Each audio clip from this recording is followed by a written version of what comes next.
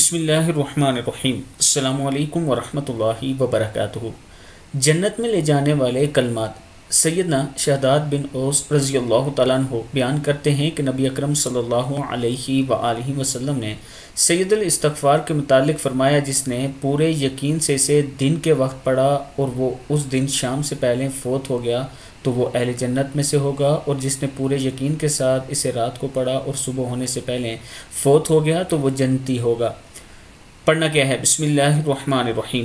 اللہم انت ربی لا الہ الا انت خلقتنی وانا عبدک وانا على عهدك ووعدك ما استطعت۔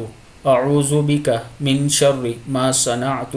ابوء لك بنعمتك علي وابوء بذنوبي بذنوبي فاغفر لي فإنه لا يغفر الذنوب إلا أنت.